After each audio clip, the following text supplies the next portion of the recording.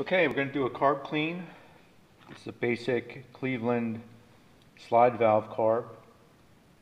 It's slide valve because it has this valve in there that manually opens and closes. Has an accelerator pump on the side. This cam pushes down on the accelerator pump, gives a little extra squirt inside. Disassemble. Slide. I'm pushing in, bringing that out.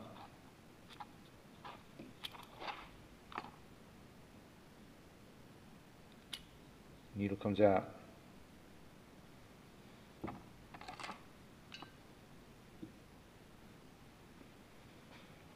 Accelerator cable. Unscrew the nut, release the cable.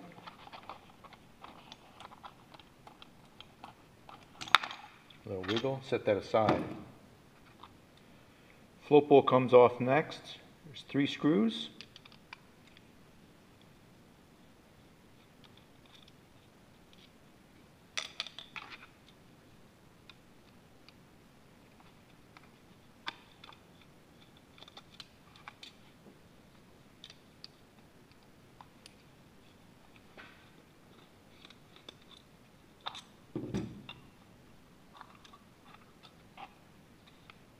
Set aside the float bowl.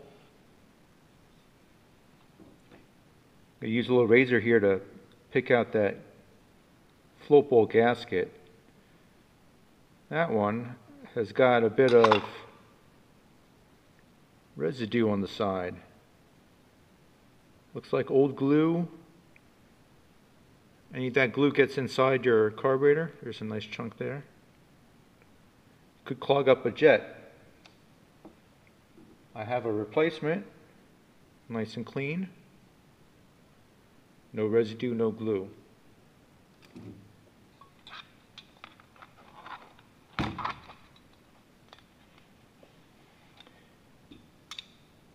Main jet.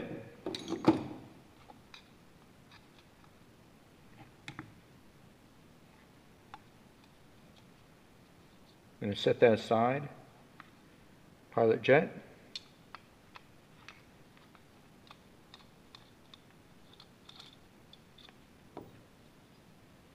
This is the mixture screw.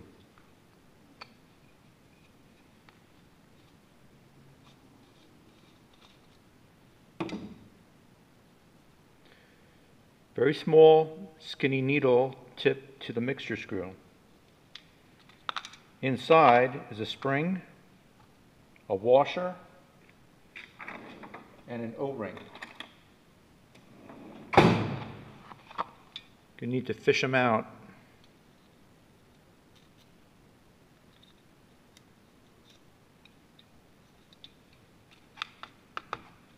washer came out.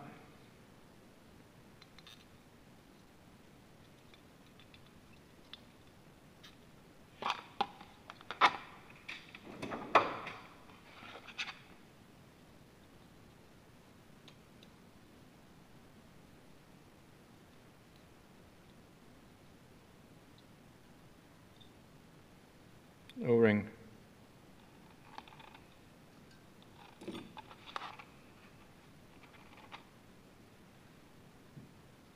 Next is the emulsion tube. Out and last. Pushing out from the top. The needle jet. Needle jet. And there is an upside and a downside to that. Now this carb has only had fuel in it for about a month of sitting. First place that varnish is going to form is right here on the slide needle. Right there is a ring of varnish. That's quite a lot.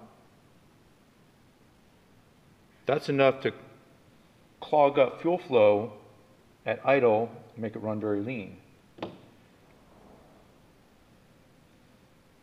The needle jet is the other half of that fuel circuit. When the slide is closed, that position is evaporation point for fuel in the float bowl.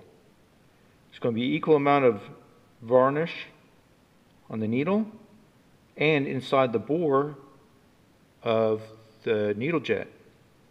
Both have to be cleaned out. Pilot jet has a tiny hole in it, only about 0.4 millimeter maybe. We're going to have to examine that with a magnifying glass, make sure that we see through a clear round hole, no clogs. Main jet also.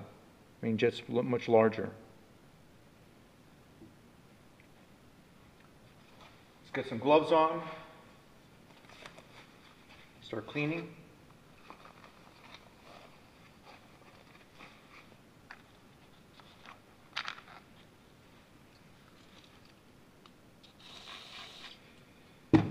Needle's easy to clean.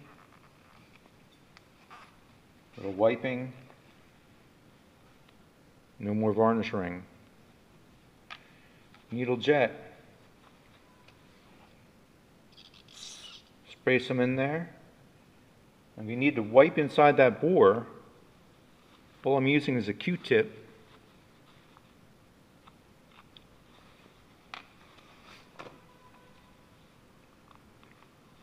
Pushing in there, just giving a little bit of a wipe. That's all it needs to get that varnish out of there. That's the first place that varnish will form if there's fuel in the float bowl just sitting.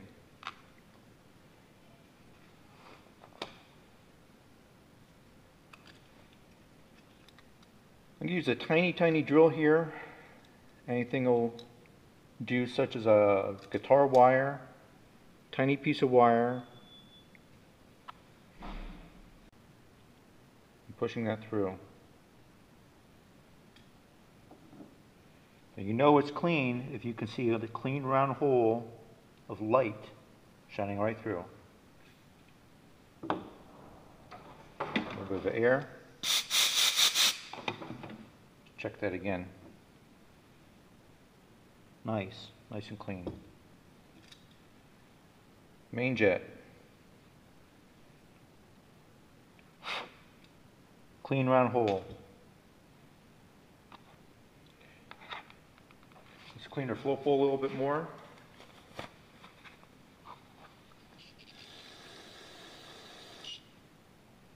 Any varnish that's in the float bowl, basically, as long as there's not debris clogging a hole, doesn't really do much to clog the carburation.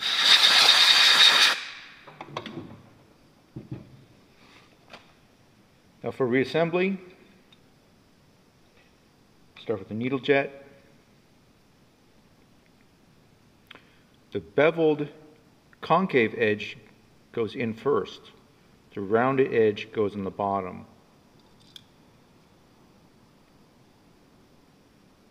emulsion tube.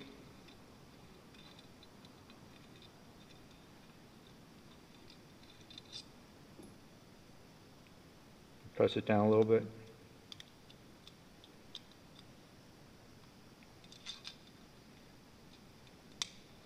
There he goes. Snug, clean pilot jet.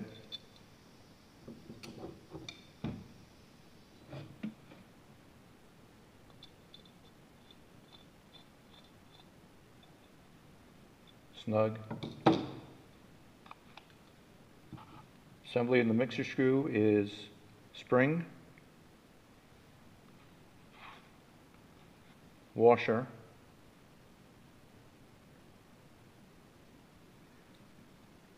then O-ring.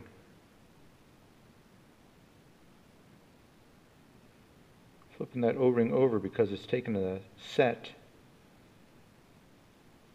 flat edge towards the washer, rounded edge up. And then that goes in.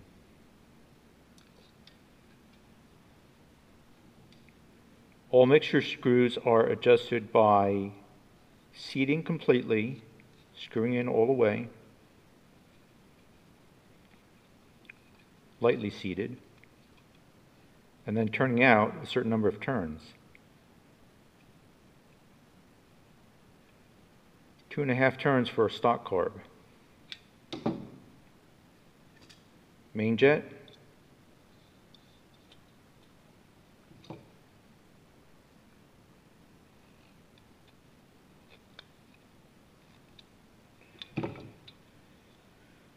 Check our float. There's a spring-loaded plunger in there. It's loose, it pops up. And the plunger needle falls down. If it's just seated, we want a measurement of 14 millimeters from the body to the float. So the float's basically parallel to the body, and that's your adjustment. Parallel right there. Okay. Float bowl clean, no loose debris. New gasket. Doesn't need any glue. That groove will hold it in place.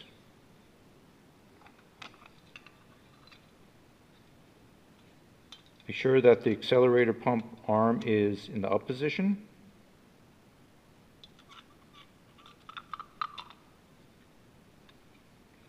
And put the bowl on. The plunger for the accelerator pump is pushed down by this arm. This arm needs to be in the up position, not in the lower position. And you know what's wrong.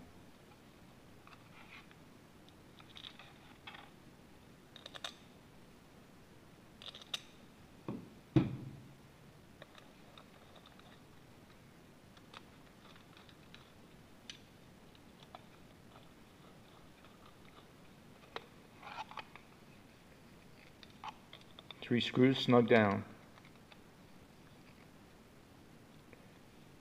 This particular carb didn't have a lot of varnish in it, but it was enough to really clog up the idle circuit, which was that varnish on the needle and in the needle jet.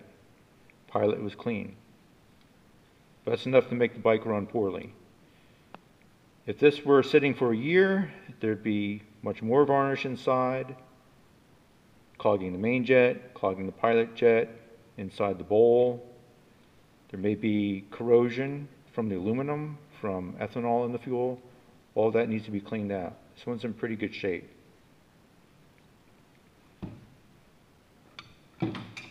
Last is putting the needle back in. Drop it in. Spring holds it in place.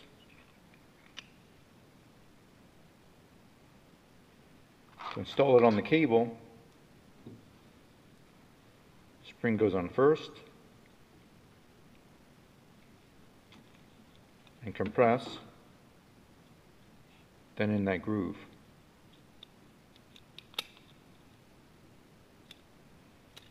The cutaway always goes towards the intake side where the air comes in. There's a locating groove on the other side that keeps the slide from spinning around.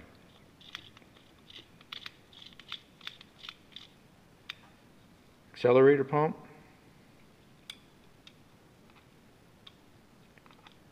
Attach cable. Adjuster up to the bracket. Adjustment is not too critical, but when the arm comes up, be sure it does not jam against the adjuster here. Make sure there's a few millimeters of clearance. Ready to go back on the bike.